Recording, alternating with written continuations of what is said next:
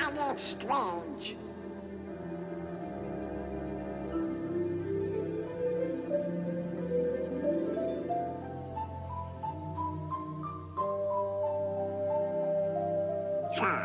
That's an odd-looking creature.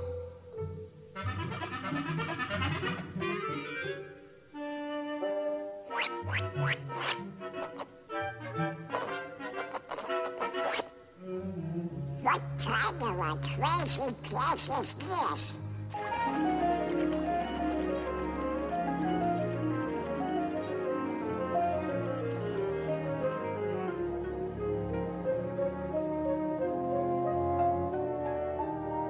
Well, what are you? Squirrels? Pi is equal to 3.141592653589747, etc., etc., etc. Hello?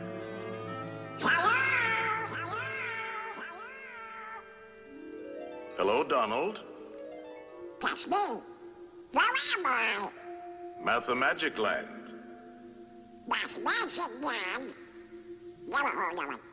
It's the land of great adventure. Now, who are you? I'm a spirit, the true spirit of adventure. That's for me. What's next? A journey through the wonderland of mathematics. Mathematics? That's for eggheads. Eggheads? Now hold on, Donald.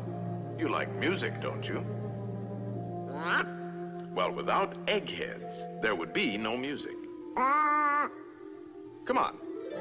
Let's go to ancient Greece, to the time of Pythagoras, the master egghead of them all, Pythagoras. the father of mathematics and music. Mathematics and music? Ah, you'll find mathematics in the darndest places. Watch. First, we'll need a string. Stretch it good and tight, plunk it. Now divide in half. Plunk again. You see? It's the same tone, one octave higher. Now divide the next section. And the next. Pythagoras discovered the octave had a ratio of two to one. With simple fractions, he got this.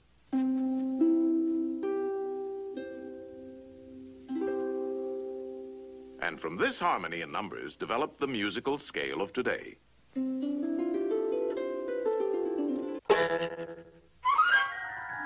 By golly, you do find mathematics in the darndest places.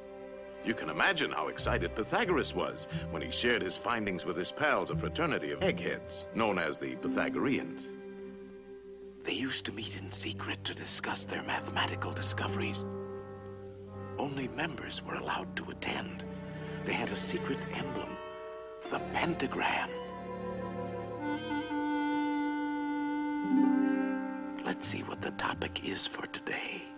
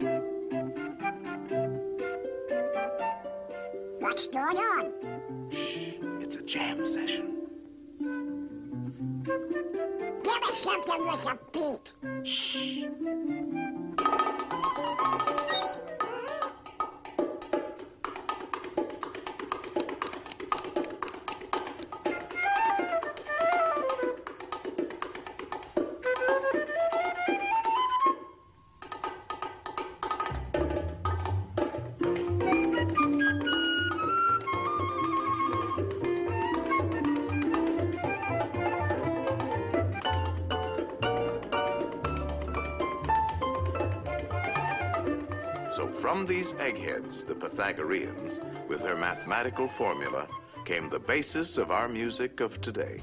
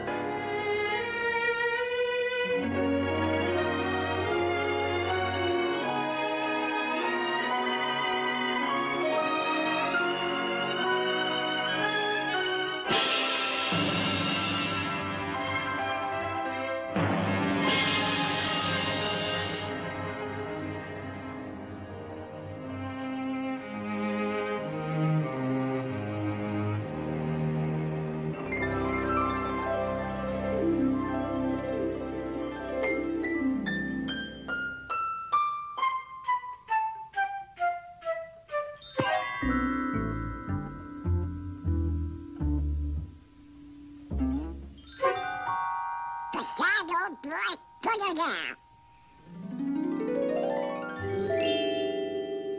I'll be a persuaded fan. It was our old friend Pythagoras who discovered that the pentagram was full of mathmagic. The two shorter lines combined exactly equal the third. And this line shows the magic proportions of the famous golden section. The second and third lines exactly equal the fourth. Once again, we have the golden section. But this is only the beginning. Hidden within the pentagram is a secret for creating a golden rectangle, which the Greeks admired for its beautiful proportions and magic qualities. The star contains the golden rectangle many times over.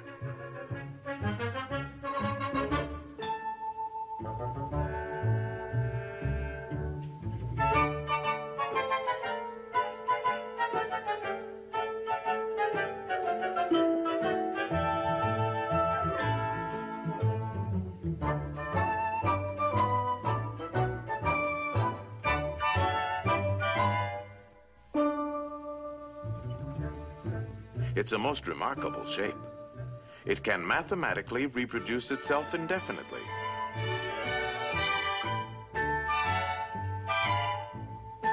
All these rectangles have exactly the same proportions.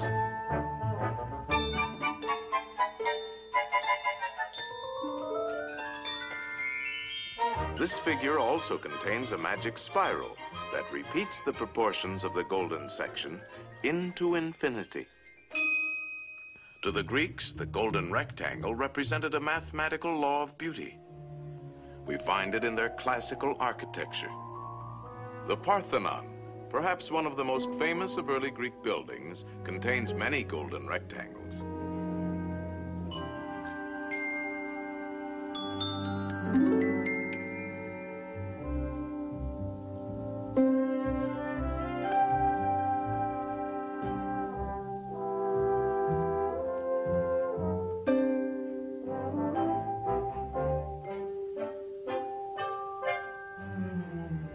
Same golden proportions are also found in their sculpture.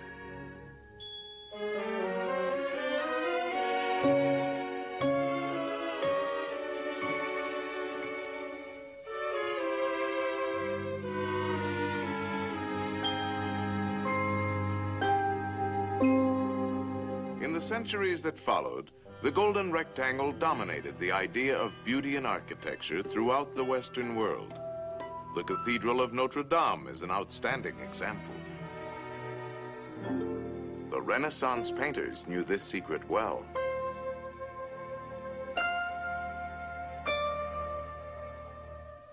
Today, the golden rectangle is very much a part of our modern world.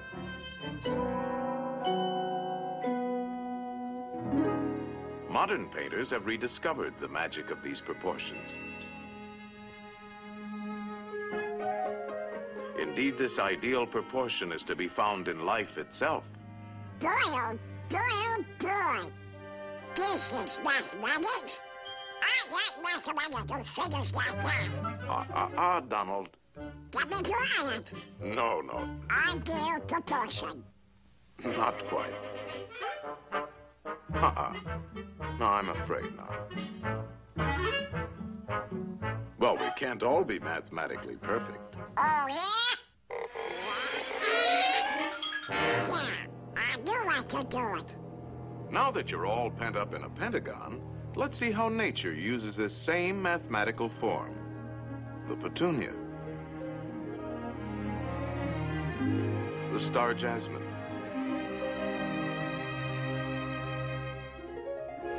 The starfish.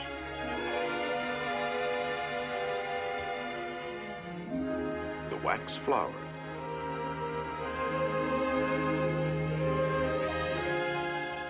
Are literally thousands of members in good standing in nature's Pythagorean Society of the Star.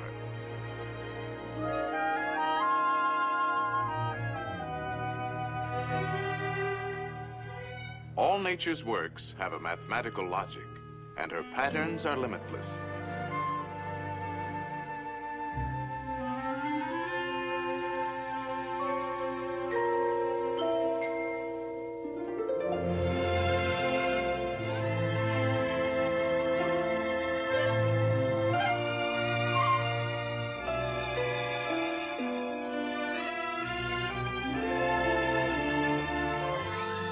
Magic proportions of the golden section are often found in the spirals of nature's designs.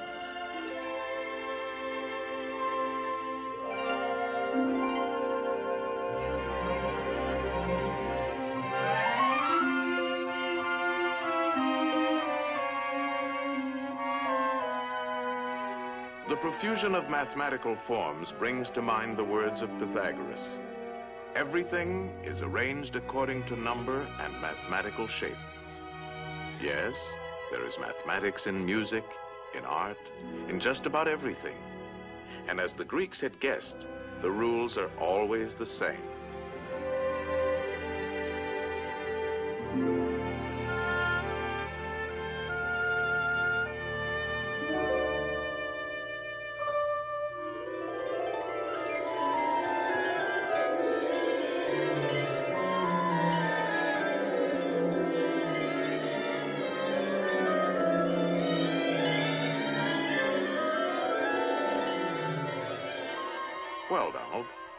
Enjoy your geometrical journey? Gee, Mr. Spirit, there's a lot more to mathematics than two times two. That's right, Donald. And you can find mathematics in games, too. Games? Oh, boy.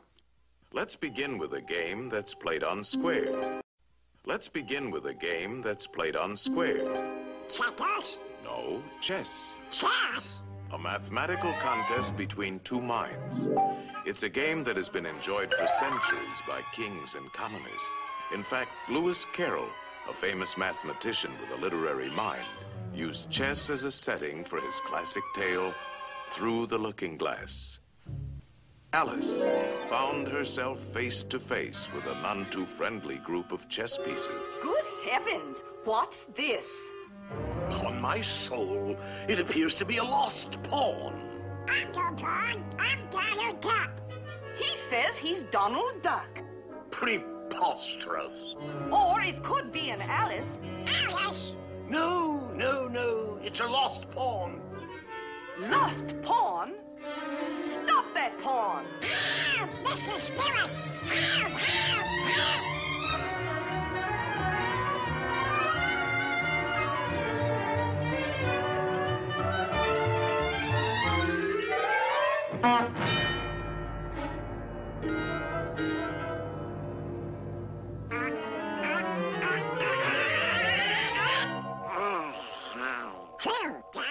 Close. Now you can look at this game from a safer perspective.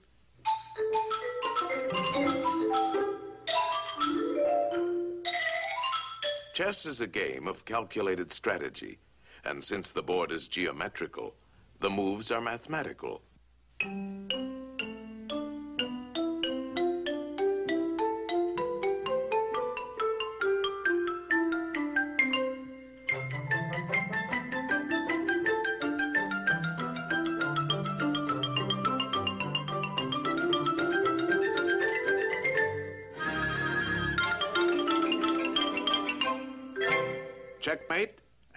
Is over. That's very interesting. What's next? Practically all games are played on geometrical areas. The baseball field is a diamond. Oh, boy.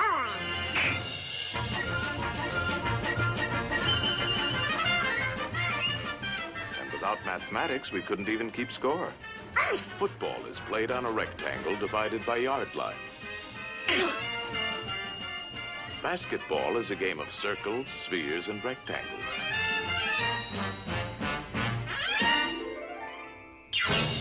Even hopscotch has its multiple squares.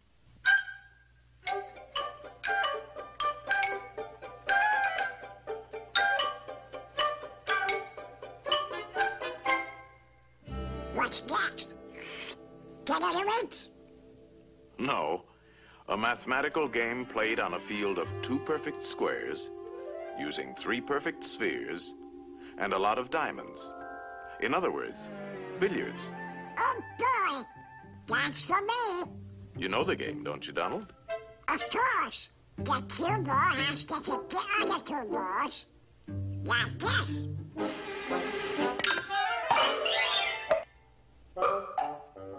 Now let's see how an expert at three cushion billiards uses his head. Three cushion? Yes. The cue ball not only has to hit both the other balls, but it must contact at least three cushions before it hits the final ball.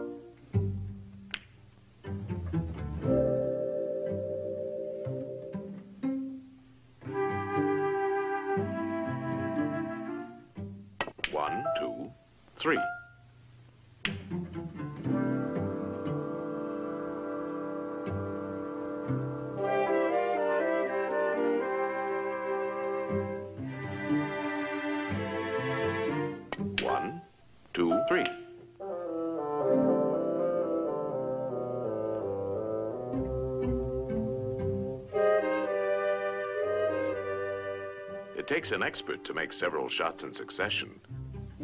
One, two, three, four, five, six. Wow! That was not a good shot. Luck? No, it's skill. For this game, you have to know all the angles.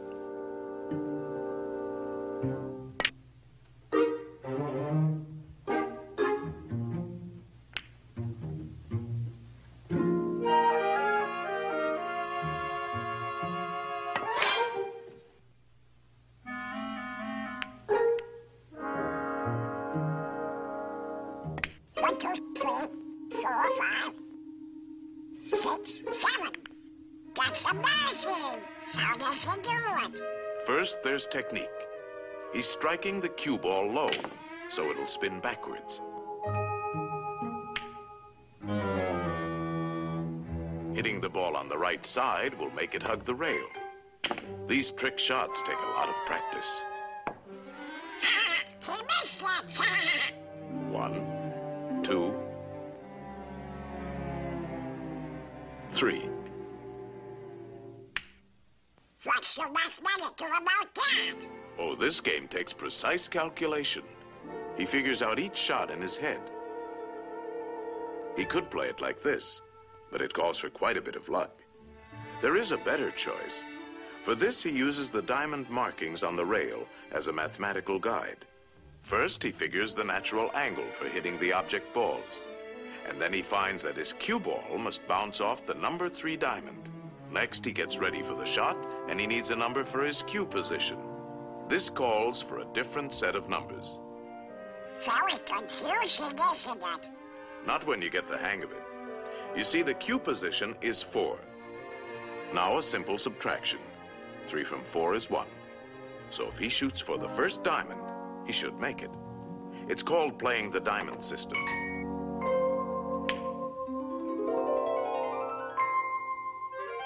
Natural angle, two. Cue position, one and a half, two, two and a half, three, three and a half. Two from three and a half is one and a half. So, shoot halfway between the first and second diamonds. There's nothing to it. Give me one. Let's see now.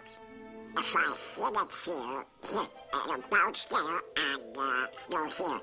If I hit it here, four and a half minus three, three and a half plus four added to two, uh, uh, uh, divided into uh, two, uh, I guess I should shoot about here. No, no, Donald. There's no guesswork to mathematics. It's quite simple. Natural angle for the hit, two. Cue position, three and a half. How much is three and a half minus two? Uh, one and a half.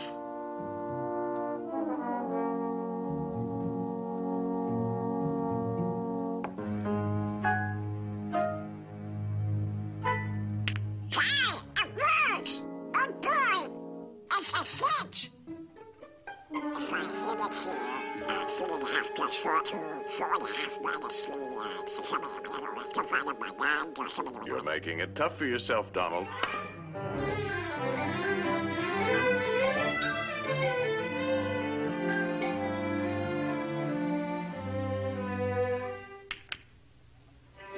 How do you like that for mathematics, Mr. Spirit?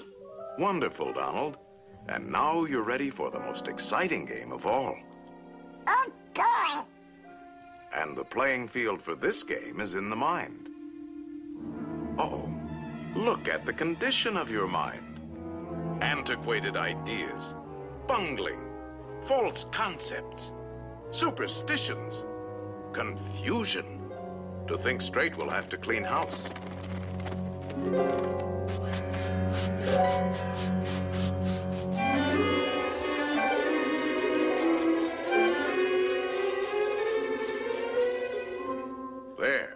That's more like it. A nice clean sweep. This game is played with circles and triangles. Think of a perfect circle. A perfect circle. Perfect circle. Perfect.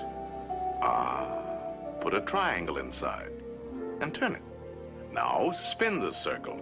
And what have you got? A ball. Yes, a sphere. The shape of things is first discovered in the mind. Slice off the top, and we have a A magnifying glass. That's right. A lens is a section of a sphere. All optical instruments are created through mathematics. See, there's a lot more to mathematics than just numbers and equations. Let's get back to our circle and triangle. Roll it, and we have a A, a wheel.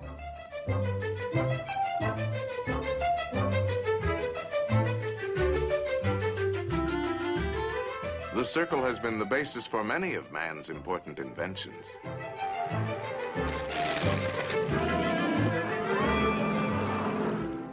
Mind can create the most amazing things. If we spin the triangle, we have a Cone. slice the cone. The cone is full of useful mathematical shapes. Slice it again. Slice it several times. The orbits of all planets and satellites can be found in the cone. No matter how you slice it, it's always mathematics. A slice like this gives us the reflector of a searchlight. A slice like this, the mirror of a giant telescope. A line on a cone, and we have a drill. And a spring.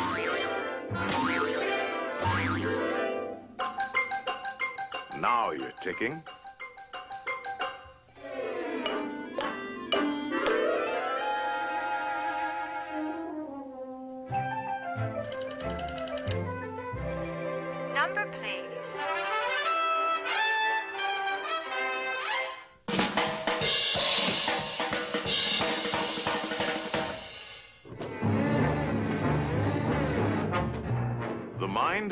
Birthplace for all of man's scientific achievements.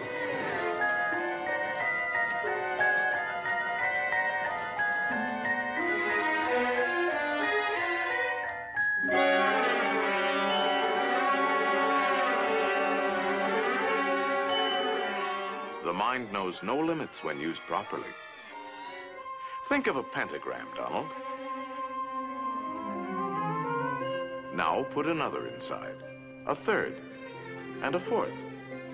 No pencil is sharp enough to draw as fine as you can think, and no paper large enough to hold your imagination. In fact, it is only in the mind that we can conceive infinity. Mathematical thinking has opened the doors to the exciting adventures of science. I'll be doggone. I've never seen so many doors before.